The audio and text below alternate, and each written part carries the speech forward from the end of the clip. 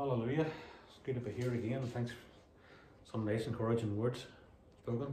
Amen. Thank God God is alive. Amen. He is our strength. He is our salvation. Yes. You don't have to fear anything. Amen. He is uh, he can be trusted. Yes. Amen. He is always his grace is always sufficient. Praise God. And uh, just want to also just thank people who have been supporting the, the work in Uganda over this last few months, well, years on months, but recently uh, Pastor James is back from Karamoja. There was uh, a famine there, you know, which some of you heard about in WhatsApp. Yeah. And uh, just a lot of different reasons for that, you know, high, high food prices, instability, usual stuff, just a messed up world, you know, and it's, it's, it's affecting a lot of places in the, in the third world. Yes. But uh, praise God, he went, he went there and we were able to use some of the money that's been given to help relieve people for food. And uh, so thanks for that, for the, for the giving. And but I want to encourage you as well. Uh, I do plan by God's grace, you know, to be able to travel out and. uh, the beginning of September. That's my intention, and by God's grace, that'll happen, you know. And uh, after three years, it'll be it'll be strange being back out again, but it'll be good if we can get it out, make out, it'll, it'll be good. So, uh, uh, just want to encourage you as well if you do feel the Lord leading you to uh, support that trip in any any way. Everything will be greatly appreciated. You know, as I say, people have been supporting ongoing, so I'm not putting any burden on anybody or any expectation, but just if you do feel the Lord is speaking to your heart, you know, you're uh, it'll certainly be put to good use. Praise God. Amen. Uh, there's lots, lots of needs there, and we thank God for the grace to do these things. Yes. And uh, but I'm going to read this morning from First Timothy chapter six. I'm going to talk really about Paul's Paul's uh, understanding and his teaching regarding money and material things, and he really does go through like a discourse here where he's advising Timothy, and he gives him some really uh, good advice. I don't know if I get through it all, but we'll see how it go. But I'll just read from chapter six and really most of this chapter, but just he says up beginning by he says, let, let as many servants as are under the yoke count their own masters worthy of all honour. The name of God and his doctrine be not blasphemed. And they that are believing masters, let them not despise them because they are brethren, but rather do them service because they are faithful and beloved partakers of the benefit. These things teach and exhort. If any teach otherwise and consent not to hold some words, even the words of our Lord Jesus Christ, and to the doctrine which is according to godliness, he is proud, knowing nothing, but doting about with questions and strifes of words, wherefore cometh envy, strife, railings, evil surmisings, perverse disputes of men, corrupt minds, and destitute of the truth, supposing that gain is godliness, and from such withdraw yourself. But godliness with contentment is great gain.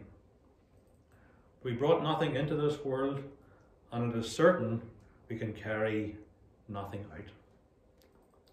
Therefore, having food and clothing, let us therewith be content. They that will will to be rich fall into temptation and snare, into many foolish and hurtful lusts, which drown men in destruction and perdition. For the love of money is the root of all evil, which when some have coveted after, they have erred from the faith and pierced themselves through with many sorrows. But you, O man of God, flee these things and follow after righteousness, godliness, faith, love, patience, meekness. Fight the good fight of faith. Lay hold on eternal life, whereunto you are called and have, professed a good profession before many witnesses. I give ye charge in the sight of God, who quickens all things, before Christ Jesus, who before Pontius Pilate witnessed a good confession. That you keep this commandment without spot, uh, unrebukable, until the appearing of our Lord Jesus Christ, who in his times he has he shall show who is the blessed and only potentate, the King of kings and the Lord of lords, who only hath immortality, dwelling in the light, which no man can approach unto, which no man has seen, nor can see, to whom be honour and power everlasting. Amen. And charge them that are rich in this world to be not high minded, nor trust in uncertain riches, but in the living God who gives us richly all things to enjoy. That they do good, that they be rich in good works, ready to distribute, willing to communicate, laying up in store for themselves a good foundation against the time to come, they may lay hold on eternal life. O Timothy, keep that which is committed to your trust, avoid profane and vain babblings and oppositions of science, falsely so called, which some professing have erred, turning the faith. Grace be, unto you, grace be unto you. Amen. Amen. Thank God for His word. Amen. Yes. Amen. Let me just thank you, Father, this morning Thank you, Jesus. for your word, Lord. We thank you for the lessons, Lord, that are found in your word, Lord. And we just pray as we just, uh, just briefly, Lord, just look at it, meditate upon it. Help us, Lord, just to be encouraged, be instructed, and just, uh, just be edified by it, Lord. Just thank you for the grace, Lord, just to, to fellowship this morning in your word. In Jesus' name, amen. Amen. Praise God. Paul again starts off by talking about slaves and masters. A lot of people, you know, back in the Bible times, there was a there was a lot of slavery. It wasn't, I don't think, ever God's will that that would be the case, but and men rose up in history and have dealt with that. But one thing that, that the Bible doesn't really focus on it, but he, the Bible focuses on if you are a slave, be content, serve your master, and if you are a master, then treat your slaves with uh, honour and respect. That was always the biblical uh, emphasis, and uh, in reality, that's you know, could even situations where, although it's not ideal, that if, if, if, if there's a good relationship, it can work well for both parties, you know. And but that's uh, that's not the main thrust of really what I want to cover. I want to really want to get uh, down to verse three. Where he talks about uh, the wholesome words of Christ. He says that there's there's just a watch for people who teach not the wholesome words of Christ or the doctrine which is according to godliness. See, the gospel, the word of God, should always lead to godly actions. Jesus says, "You will know them by their fruit." You know, and the word of God is pure, it is peaceable, and it brings forth those fruits of righteousness. But these false teachers, it says they're proud, they don't know anything, they're, they're, they're questioning, they have strife of words, they have railings, evil surmisings, perverse disputings, and they're destitute of the truth. And one of the things they were teaching was this idea that, that gain is godliness. Paul said to Timothy, no, to withdraw from that idea. That having gain somehow is godly.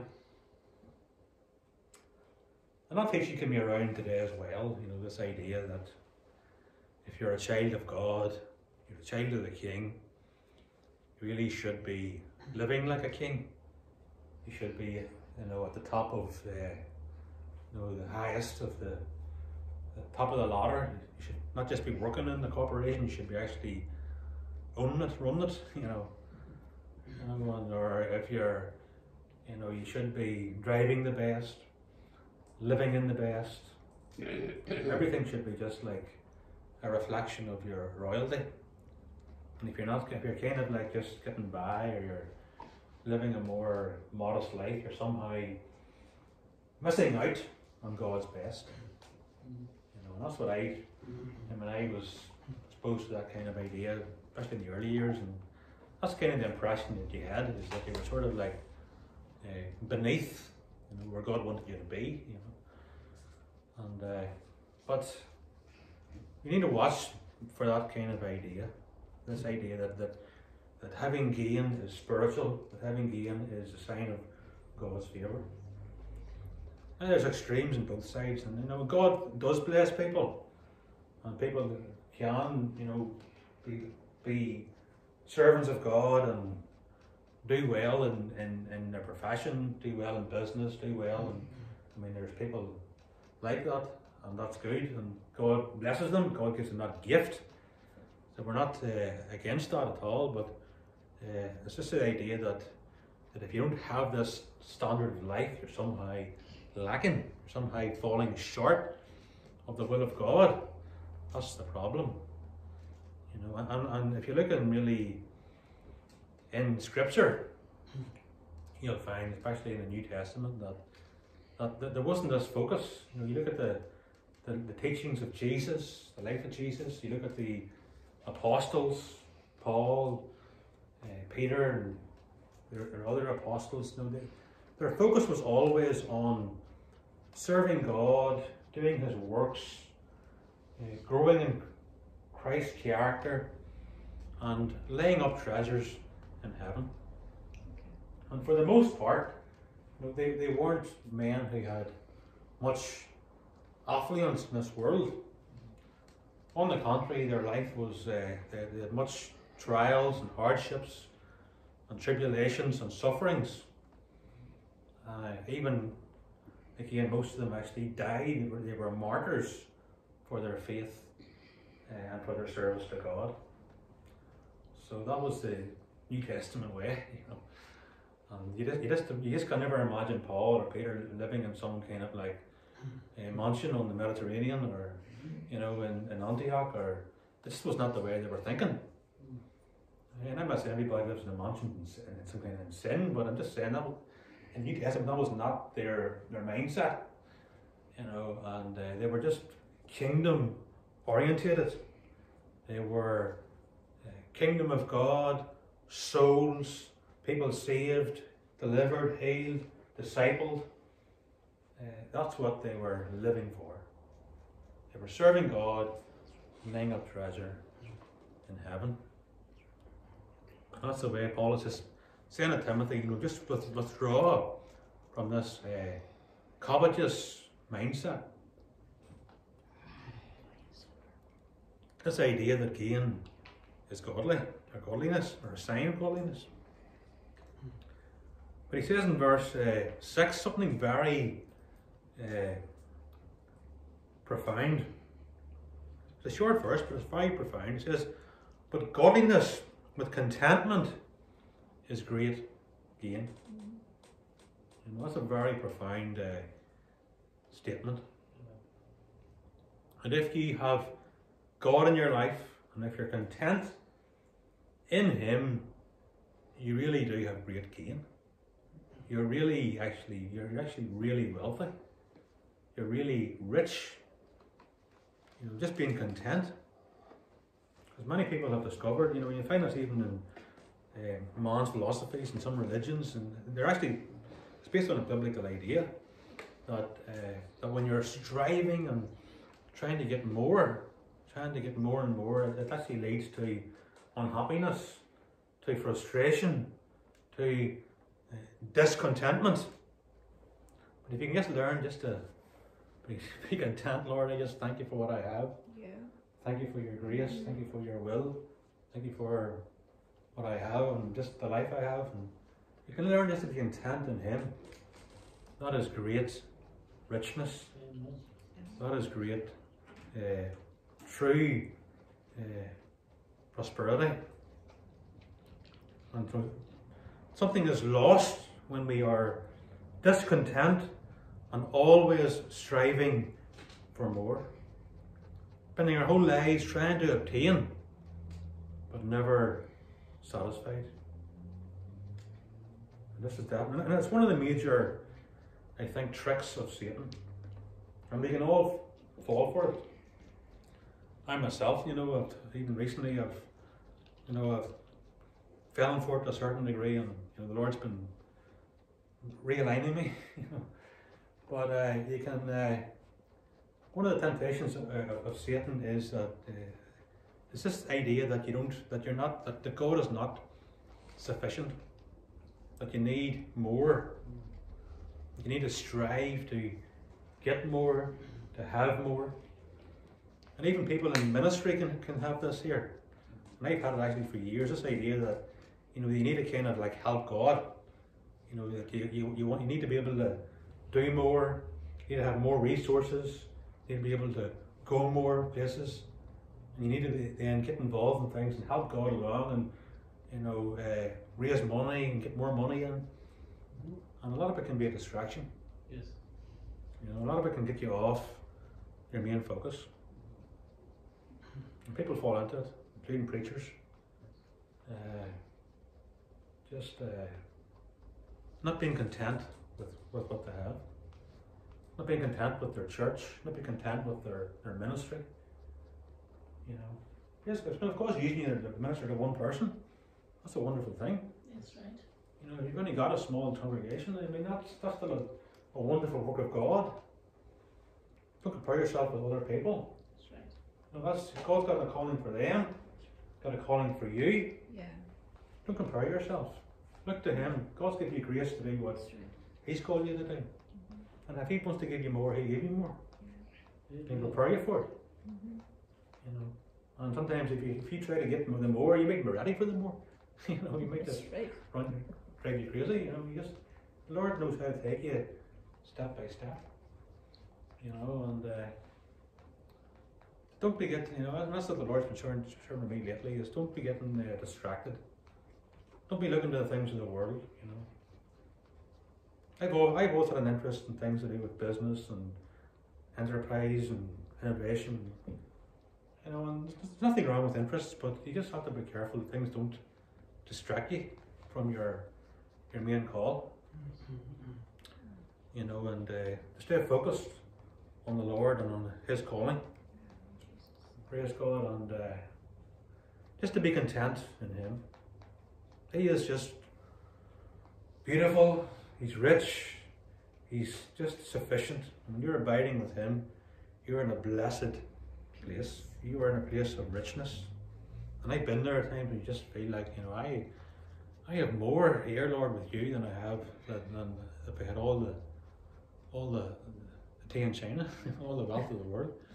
You know, I just just just to be in your presence, just to be feasting and uh, receiving of your love and your peace and your joy and your life. You know, I uh, that's all I need. That's I am rich. Praise God. You know, so this is a this is a reality. You know, and uh, and so we that's where that's where we get into temptation when we get our eyes when we're not satisfied. You know, when we think we need we need more, bigger and better. So Paul is saying here that true wealth is a quality of heart, not a quantity of ownership. It's a quality of soul, quality of heart, not a quantity of what we have. And I think that's very profound. Yes.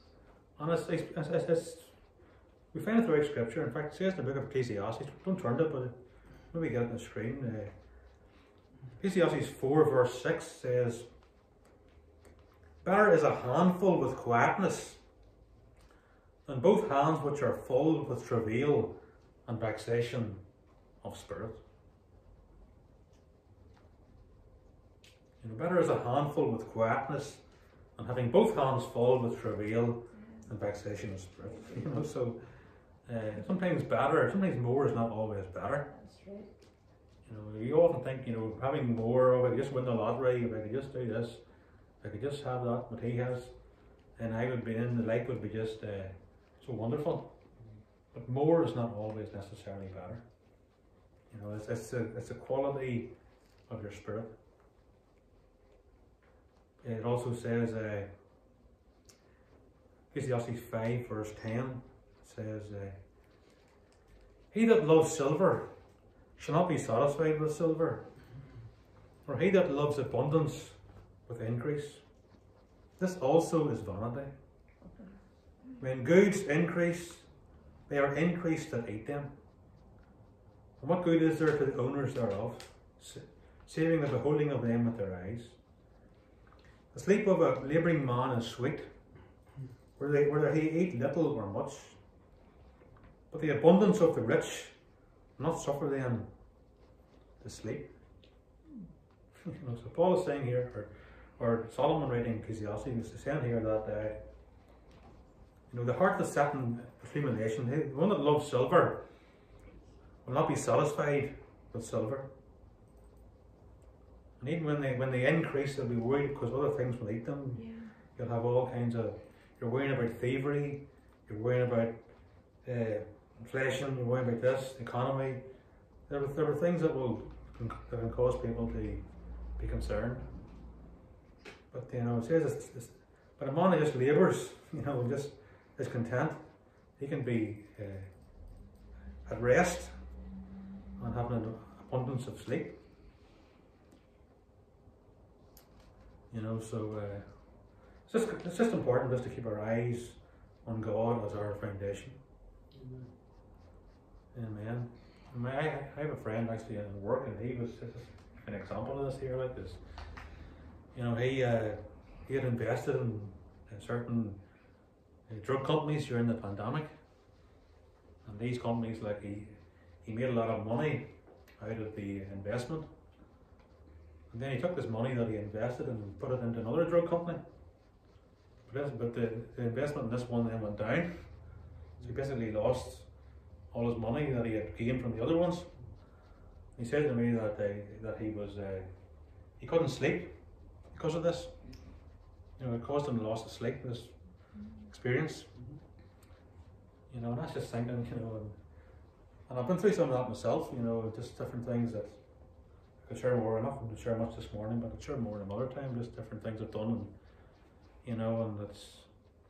The Lord's just been showing me, you know, this is not the way to go. It's causing you uh, trouble in your heart. It's causing like a lack of peace, Concern. concern, and uh, that's where I am at the minute. You know, it's just taking me out of a lot of things. Yeah. Amen. And uh, Praise God. You spoke loud and clear this morning. but uh, you know, I was thinking to myself, or even you know, lately, you know, you see the inflation worries, and people are losing billions or millions on Bitcoin and shares falling, and you know, and you get some guy out in Africa, and you know, he gets the chicken for his lunch or for his tea, and he's he goes to sleep happy, you know. I got a chicken for for my tea. He just sits out on his porch, and he's got his family, and he's got his kids, and he's uh, He's happy. he's happy. You know, people that are friends of mine, in place- you know, in Uganda. And all he has is uh, he's got a he's got a wife and a handful of kids. Most of them, have, you know, and he's uh, he's a pastor, loves the Lord. He goes to church on a bike, you know, doesn't even have a car. Just goes to the church on a bicycle. And he just preaches the gospel, simple gospel, loves souls, and. Uh, just content, you know, just simple but content, Amen. you know. And uh, then you see these people, these people in the world who have all this stuff, and they're just out of their mind, worry and anxiety, troubles, you know. It just it does teach you, like you know, the reality of these scriptures. You know, that's not again. I'm not saying that God can't bless. I mean, the Bible does say in the book of Proverbs that the blessing of God does make rich and not no sorrow. You know, so when you are blessed in God, you know, if you just if you keep your eyes on God and focus on God, Yeah. you know, He can bless the work of your hands because you're doing His work, doing His will. And because you're doing His will, it's not an, uh, not add any sorrow. It'll be it'll be a blessing. Yes. It's a big purse without holes. Mm-hmm. Yeah, That's what it is. God's blessings are a big purse without holes. Amen. It doesn't seep through quickly. Yeah, praise God. Yeah. When you're out of God's will, that's when then the things become a snare, become a hindrance. When you get your, your focus away from Him, you know, and uh, and I'll share more as well. But I mean, I went through a period there just with this last. Like I haven't turned from God or turned away from God or anything, but you just you're getting involved in investments and things, and they were sort of preoccupying my time and my life. You know, I wasn't spending, I wasn't enjoying the word the same and getting the same time in the word, and it was just sort of like taking over, and you know, and, uh, and then I just felt the Lord was just saying to me, you know, you just gotta, you're gonna have to change here, you know, you have to adjust. And he sort of tried to take me out of it, Mhm.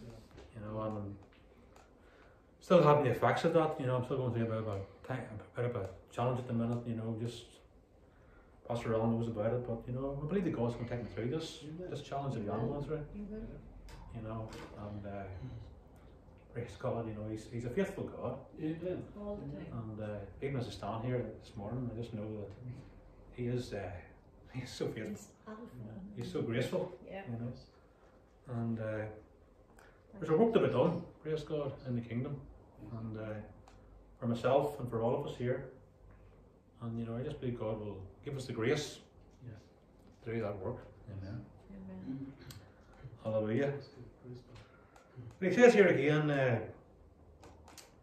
praise God, he says here, uh, verse 7, and probably this will be a two parter, I think. he says, He we brought nothing into this world, and with a certain we shall carry Nothing. nothing out. You know, and that's, uh, I'm not giving you a joke again about the, the hearse, you've heard that one. but uh, there, there's somebody, there's a story about, you know, this guy who says, uh, a rich man who died, and I was asked, you know, how much did he leave? And the reply was, all of it. Praise God. You know, we leave it all behind. Very good. Hallelujah. There's no baggage shack on the way to heaven. No. Know. We leave it all behind. Mhm. And uh, we only have it while we're here. Yeah. Just a little. That's why the Bible talks about not so much ownership, but stewardship. Yes. You don't really own anything. God owns a cattle on a thousand hills. And if you're a farmer, you know, God owns your cows. Praise God. You know, we don't own anything. You know, and God owns even our own lives. The rich man says, you know, I've got, I've done well, all these goods, and now, now relaxed. Take it easy, my feet up. The Lord says, even at this very night, your soul will be required. God owns. So we, we just have everything as a as a steward. We're stewards over uh, what God has uh, given us. Praise God. And uh, so we brought nothing in and we can bring nothing out. So it's, it's important then, and that's, that's why we shouldn't really, we shouldn't, if we have things, we should honour God with our things.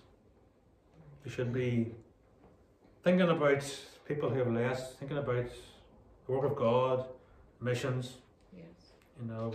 Yes, there's, there's times when we need to save up and we need to look after ourselves and our families and all that. But, we need to have this sort of mindset that everything we have in this world is temporal. When, when, when, when we really see that, understand that, it, it will uh, adjust our mindset. And it's only, only have it for a season.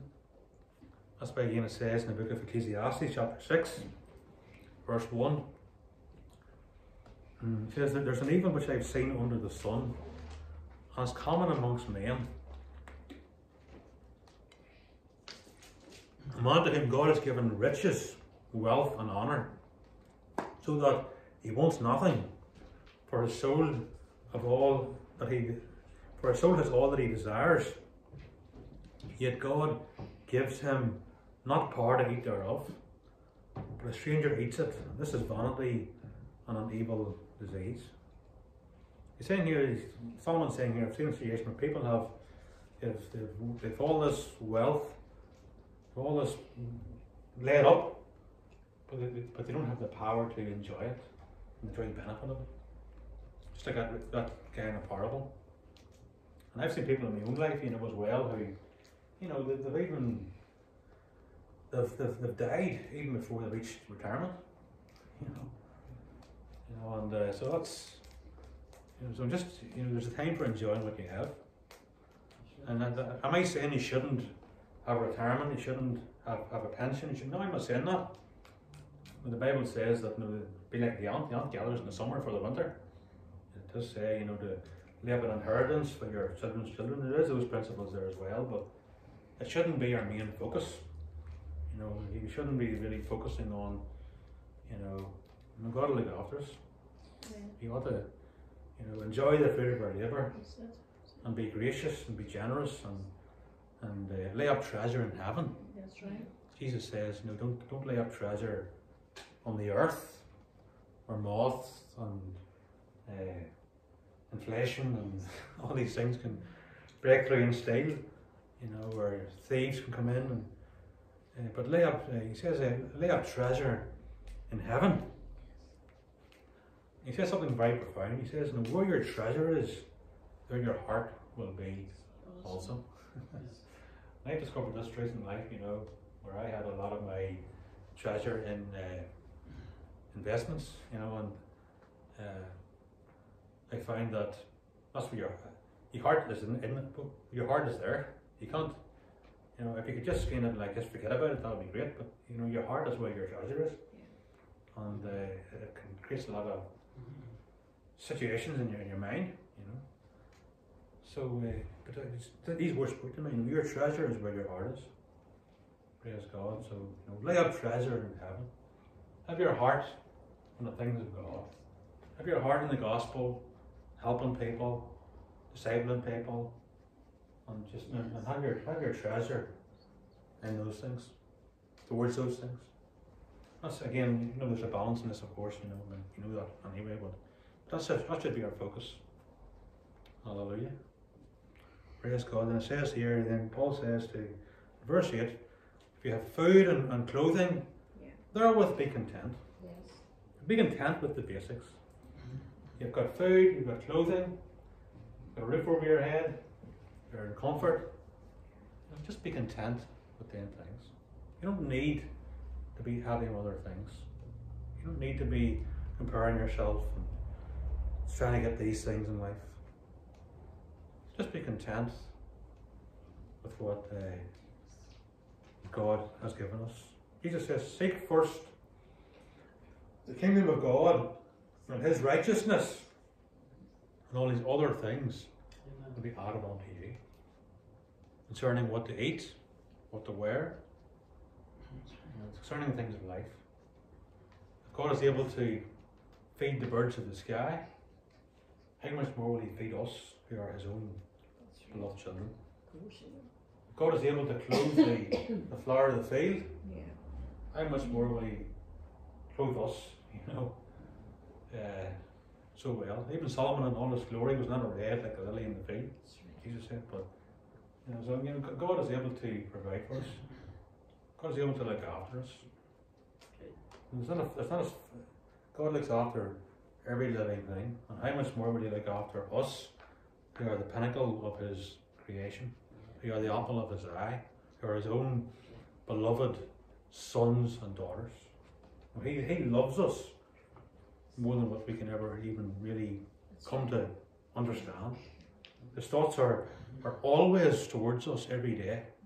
The psalmist says, you know, your thoughts towards me are, are innumerable, are, are, are without number. You know, your thoughts of goodness, thoughts of kindness, thoughts of, of, of, of, of, of love. And, he will, and we will spend all eternity just enjoying the exceeding richness of His grace and His kindness towards us through Christ Jesus. You know, well, that's awesome, you know. If we can help us, Lord, just to see the wonder of who you are, just to see the beauty and the, excellency of your love. Praise God. Help us keep our focus, Lord, on that, not on the things of the world, not on the problems. Hallelujah. Praise God. So, uh, hallelujah. Just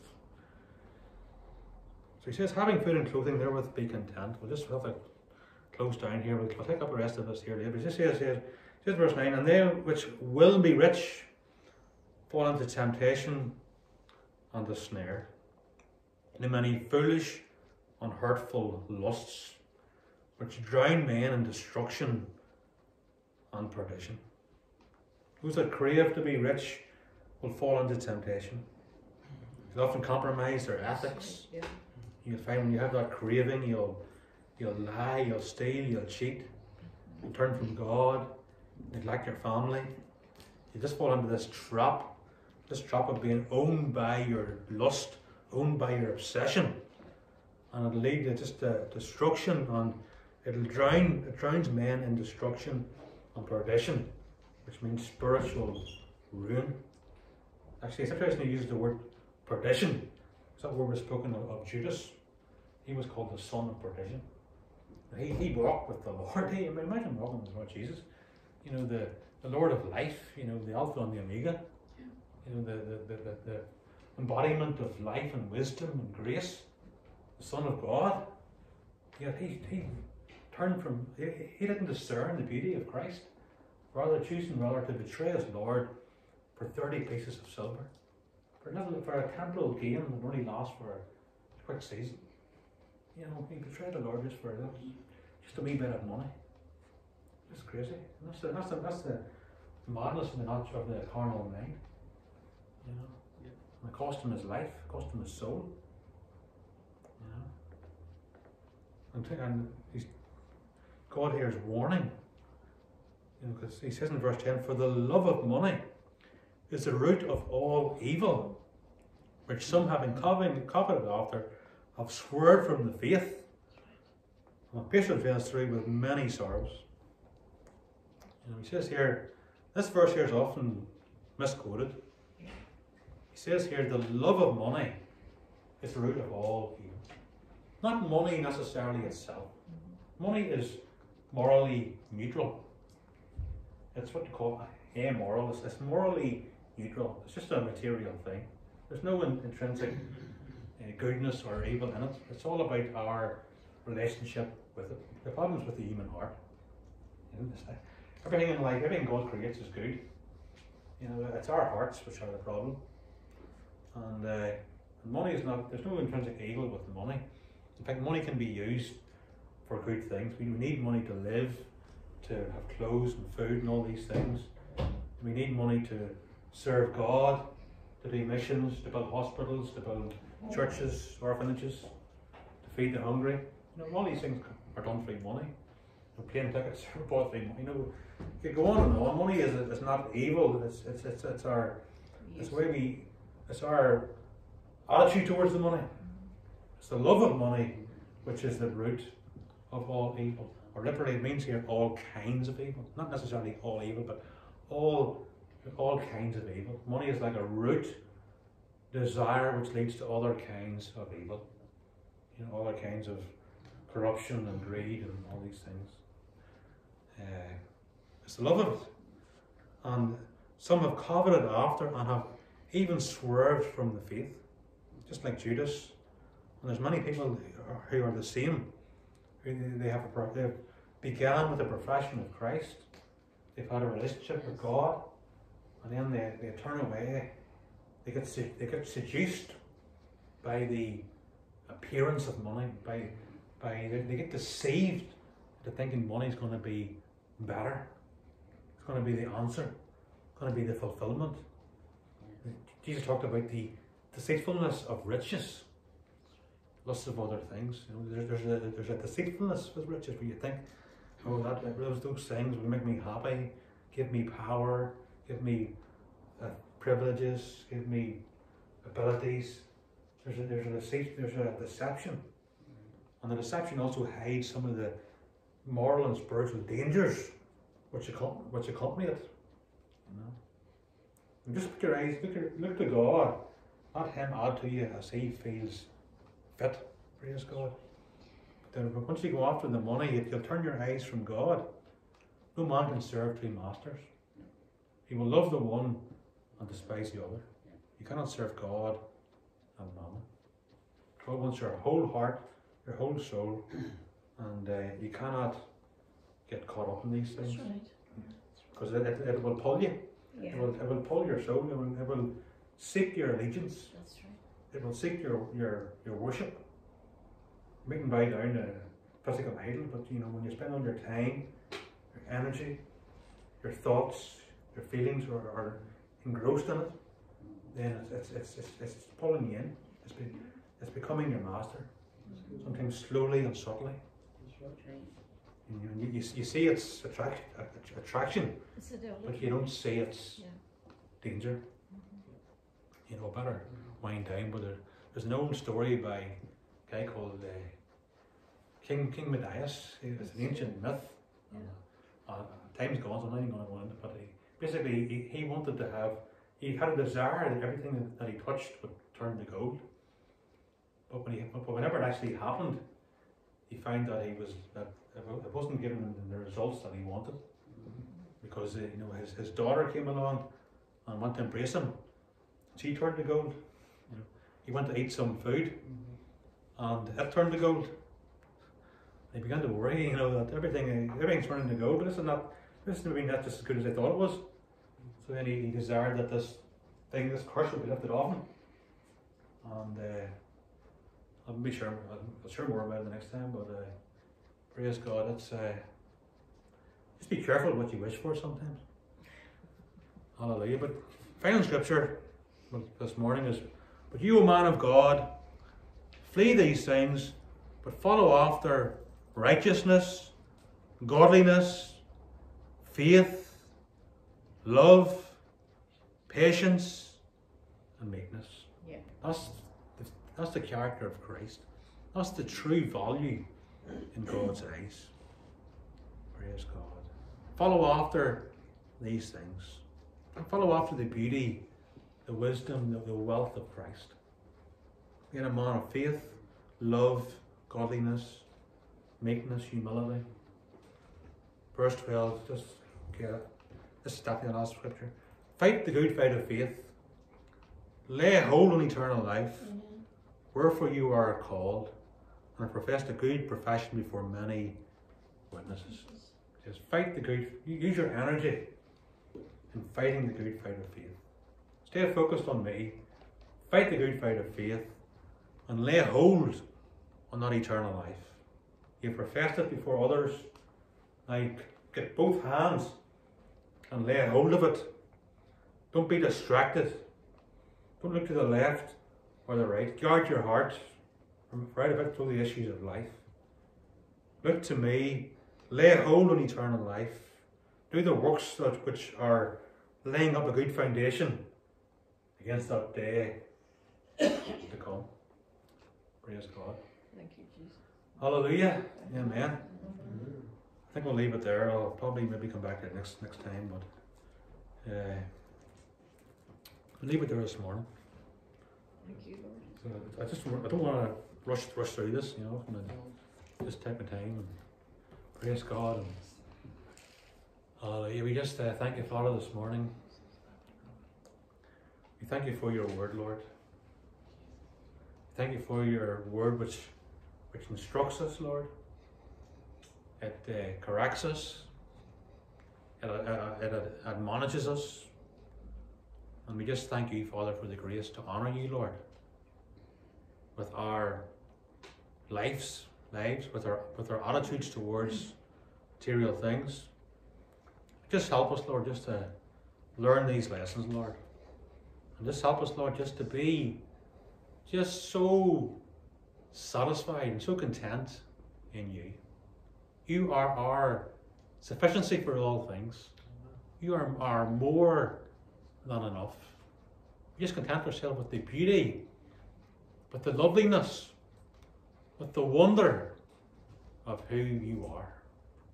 We worship you, Lord. We esteem you, Lord. We, we love you. We glorify you. And we just uh, look to you, Lord, the author and the finisher of our faith. Thank you, We just thank you for your grace upon our lives, Lord, and for the strength, Lord, just to to go forward, Lord, with boldness and with, and with, and with strength of faith, Lord, doing great exploits in your name, for your glory, in Jesus' mighty name. Amen. And amen. Praise God.